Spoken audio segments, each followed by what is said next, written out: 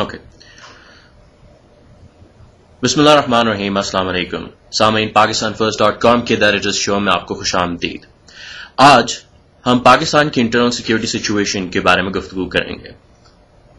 इस बारे में हम पहले भी कई शोज़ कर चुके हैं। जैद हामिद, अहमद कुरैशी और बहुत से ऐसे लोग इस बारे में अपने ख्याल का इजहार कर चुके हैं। लेकिन आज हम एक ऐसी शख्सियत से बात करेंगे, जिनका इन तमाम पाकिस्तान की इंटरनल सिक्योरिटी सिचुएशन और पाकिस्तान के एक्सटर्नल जो प्रेशर्स होते हैं, बड़ी गहरी नज़र है। आप पाकिस्तान के रिटायर्ड आर्मी जनरल हैं। पाकिस्तान आर्मी की कई की पोस्ट पे आपने सर्व किया है। इसके साथ साथ आप पाकिस्तान के बड़े क्रूशल टाइम पे इंटीरियर मिनिस्टर रहे। During the election you were the caretaker interior minister general Hamid Nawaz. सलामकुम सर आज के शो में हम जनरल हामिद नवाज़ से गुफ्तु करेंगे पाकिस्तान की इंटरनल सिक्योरिटी सिचुएशन के ऊपर विद एन इफ़ेक्ट के बाहर से जो बैरूनी ममालिक से हम पर प्रेशर पाकिस्तान पर डाला जा रहा है और हमारी जो इंटरनल सिक्योरिटी सिचुएशन को बड़ा इशू बनाया जा रहा है। आजकल आप कोई भी न्यूज़ आर्टिकल उठा के देखें, उसके ऊपर गुफ्तु होती है। इस सिलसिले में हम ये जानने की कोशिश करेंगे कि आखिर पाकिस्तान की जो इंटरनल सिक्योरिटी मामला है, उसमें इंटरनेशनली एक एक बड़ा डिफरेंट एंगल से इंटरेस्ट लिया जाता है। हमारे हर डिसीज़न को बड़ी क्रिटिकली नज़र से देखा जाता है। हमारी अदालतों के डिसीज़न को एक यू खान वाले केस में भी बड़ी क्रिटिकल नज़र से देखा गया। इसलिए आज के शो में हम इसको बड़ी बारीकबीनी से जानने की कोशिश करेंगे कि आखिर इसमें इंटरनेशनल प्लेयर्स का और पाकिस्तान की अपनी स्टेबिलिटी का कितना रोल है। जनरल साहब आपने जो पाकिस्तान के आप इंटीरियर मिनिस्टर रहे बड़े क्रूशल टाइम पे रहे उस वक्त मुतरमा बेनजी भुट्टो की शहादत भी हुई। आपने वो तमाम हालात को अपने आ, देखा उस वक्त यू इन पावर सबसे पहले मगर जनरल ओवरव्यू की बात करें तो क्या इंटरनेशनली तौर पर पाकिस्तान के अंदर किस किस्म के ज़्यादा इंटरेस्ट पाए जाते हैं? पाकिस्तान को इतनी अनट्रस्टेड आईज या अनवर्दी आईज से क्यों देखा जाता है? देखें पाकिस्तान के इंटरेस्ट जो हैं वो दो तीन किस्म के हैं। एक तो जो अमेरिका की अफ़गानिस्तान में इन्वॉल्वमेंट है, और वो समझते हैं कि ये जंग जो है, अभी ओबामा के प्रेसिडेंट बनने के बाद जैसे उन्होंने अनाउंस किया, वो एक फैसला कौन मरले में दाखिल होने वाली है, जिसके लिए वो एडिशनल ट्रुप्स भी ला रहे हैं, अपनी लॉजिस्टिक्स को सीधा करने की कोशिश कर रहे हैं। और वो चाहते हैं कि इस मामले को अपने नेशनल इंटरेस्ट में निपटा दें।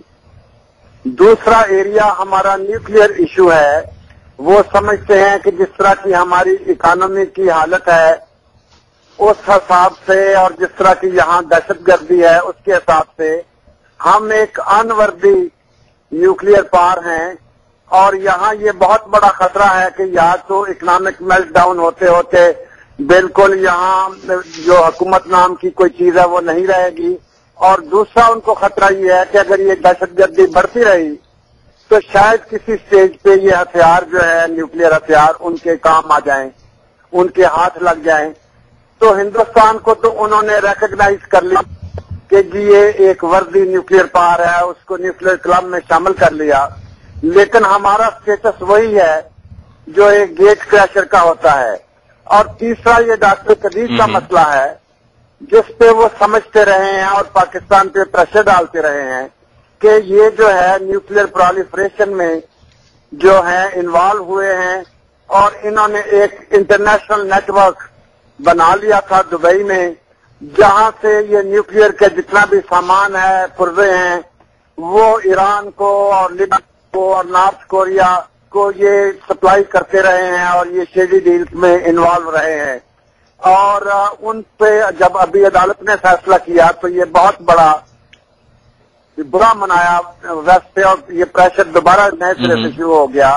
हालाँकि डॉक्टर साहब अभी उम्र के उस हिस्से में हैं जहाँ इस किस्म के कामों में कोई भी इन्वॉल्व नहीं हो सकता और पाकिस्तान ने पिछली हुकूमत ने भी इस सिलसिले में पूरी इंटरनेशनल कम्युनिटी को ये बावर करा दिया था कि ये डॉक्टर साहब उस वक्त तो इन्वॉल्व रहे हैं।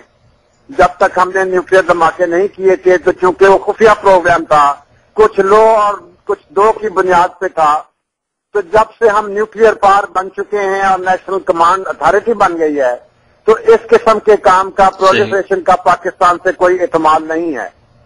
और वो समझते हम... हैं कि चूँकि डॉक्टर साहब को पता था कि इंटरनेशनल मार्केट में ये चीज़ कहाँ से मिल सकती है और किसको पहुंचाई जा सकती है इसलिए जब इनकी कोई कानूनी हैसियत और कोई अथॉरिटी और कोई अपॉइंटमेंट भी नहीं थी उस वक्त भी इनके लिए मुमकिन था कि इस किस्म के काम में इस प्रोलिफरेशन में इन्वॉल्व हो जाए।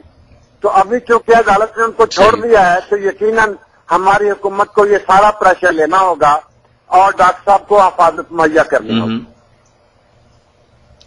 सर अगर पाकिस्तान के इस एंगल की प्रोलिफरेशन वाले एंगल से देखा जाए अगर हम डॉक्टर अब्दुल कदीर खान को अगर हम थोड़ा साइड पर रखें कुछ देर के लिए तो हमें एक चीज़ ये भी देखनी पड़ती है कि पाकिस्तान तो एनपीटी का सिग्नेचर सिग्नेटरी नहीं है। तो अगर हम लोग किसी से न्यूक्लियर मामलात में डील्स करते भी हैं तो लीगली तौर पे अगर हम इंटरनेशनल लॉ देखें या अगर हम यूनाइटेड नेशंस की तरफ़ से देखें तो हमें लीगली तो इसमें कोई दिक्कत महसूस नहीं होनी चाहिए। We can do openly because we are not NPT signatory ये लीगल या मॉरल क्वेश्चन नहीं है ये तो जो पॉलिटिक्स हो रही है ना। वो हमें समझते हैं कि इस वक्त हमें दबाने की पोजीशन में है। और इसलिए वो जियो पोलिटिकल प्रेशर इसराइल के कहने पे वो लाते हैं कि जी ये मुसलमानों के मुल्कों में ईरान ने अगर बम बना लिया या पाकिस्तान के पास है तो ये इसराइल के लिए बहुत बड़ा खतरा है। उनके जेन में जो इस्लामिक बम का एक मॉडल है वो ये है कि किसी जगह पे थियोक्रेटिक स्टेट हो और उसके पास न्यूक्लियर बम हो। तो ईरान में थियोक्रेटिक स्टेट पहले से है उनको न्यूक्लियर पावर नहीं बनने दिया जा रहा। हम न्यूक्लियर स्टेट ऑलरेडी हैं हमें मुसलमान बनने बनने नहीं दिया जा रहा। तो जब भी उनको शक पड़ता है कि यहाँ अच्छा। कोई इस्लाम लाने की बात हो रही है तो उसी हवाले से उनको ये खतरा बन जाता है कि यहाँ बाम पहले से है अगर मुसलम सही मायनों में कोई मुसलमान हुकूमत बन गई तो ये दोनों चीज़ें इकट्ठी हो जाएँगी। लूज न्यूक एंड एम्पावर्ड मुला तो ईरान को जो है वो न्यूक्लियर पावर नहीं बनने दिया जाएगा, आपको मुसलमान नहीं बनने दिया जाएगा। सही।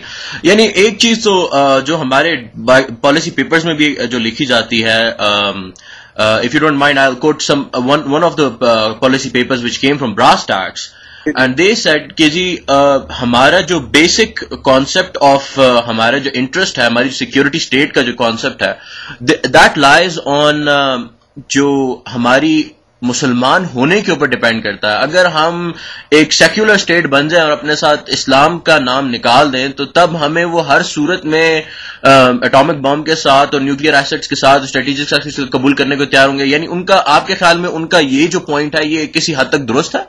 नहीं देखिए वो सेक्युलर अगर हम हो जाए तो वो तो बहुत ही वेलकम है।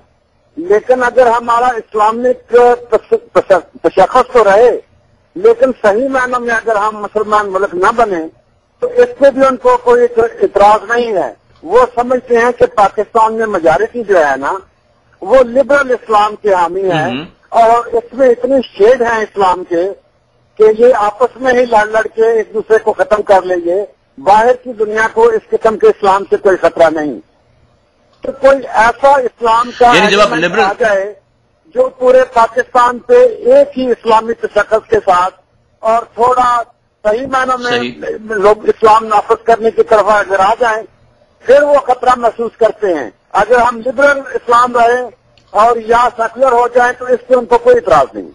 मेरे सामने सर इस वक्त एक आ, आ, रिपोर्ट पड़ी हुई है जो कि पब्लिश्ड है न्यूयॉर्क टाइम्स में। और वो ये कहते हैं which is which is basically a report published by Washington based think tank which is I read it from there it says moreover its key neighbours India and Afghanistan have shown resolute disinterest in accommodating Pakistan security concerns so अगर आप अगर आपके ख्याल में America जो है, वो पाकिस्तान के खिलाफ इंडिया को ज़्यादा सपोर्ट तो कर रहा है, लेकिन क्या पाकिस्तान अपने आप को डिफेंड करने के लिए इस वक्त उसको करना क्या चाहिए? जो इस वक्त पीपल्स पार्टी की जो गवर्नमेंट इस वक्त कर रही है वो क्या उनका तरीका ठीक है कि वो आ, किसी हद तक बहुत लिबरल और बड़ी परमिशन उन्होंने दी हुई हैं हर चीज़ के लिए? बेस एक्सेस की बात है उस पर भी हम गुफ्तु करेंगे लेकिन आ, जो अमेरिकन थिंक टैंक्स लिख रहे हैं जो रोज़ाना अखबारों में आप भी रिपोर्ट्स पढ़ते हैं हमारे सामीन भी पढ़ते हैं वो वो जो रिपोर्ट्स आ रही हैं कि पाकिस्तान जो है it's a failed state in one sense और इसको हमें डिसइंटीग्रेट कर देना चाहिए। ये जिस किस्म की गुफ्तु होती है फिर इंडिया और अफ़गानिस्तान को हमारे साथ नथी कर दिया जाता है इस चीज़ को आप किस तरह देखते हैं? देखें हिंदुस्तान के साथ तो हमारी शुरू दिन से ही एक किस्म की दुश्मनी और चपलस चली आ रही है। हमने मुतद हिंदुस्तान के साथ लड़ाइयाँ लड़ी हैं और जितना भी हमारा मिलिट्री स्ट्रक्चर है वो इंडिया के साथ लड़ाई करने के लिए हमने तरतीब दिया हुआ है।